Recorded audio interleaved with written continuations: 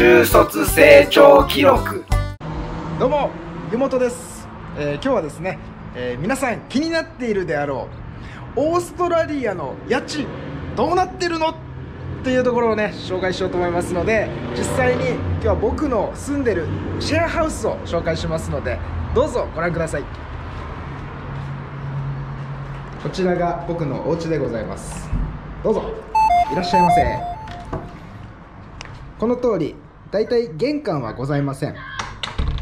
そしてですねシェアハウスは基本的に家具家電すべて備え付けでございます。必要最低限のものは大体揃っておりますね。このように。こんな感じですね。お部屋も紹介していきます。こちらリビングですね。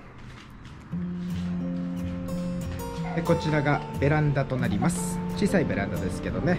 すごく気持ちいいですよ。このようにねプールがついてる家もたくさんございます。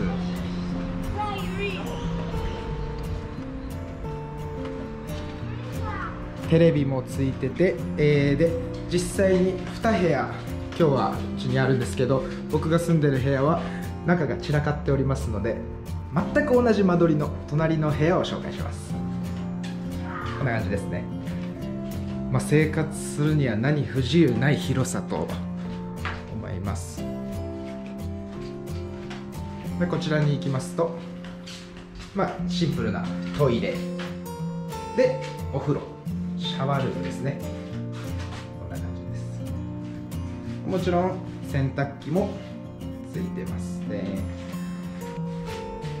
じゃあ今日はたまたまシェアメイトがいますので紹介しますね、えーこちらです。じゃんこのイモリかヤモリか分かりませんがこいつが一緒に住んでます。まあ、こいつはですねあの虫を食べてくれるのでね、えー家に住んでもらってる形ですね。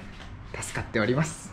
さあこのように、えー 2LDK の間取りのお家なんですけれども、えー気になる家賃の方が1週間125ドルです。めちゃくちゃ安いんじゃないでしょうか、え東京で住むよりね、えーはるかに安い値段で住めると思いますので、えー皆さんぜひお越しください。さらに海まで激近なので実際に今から行ってみましょう。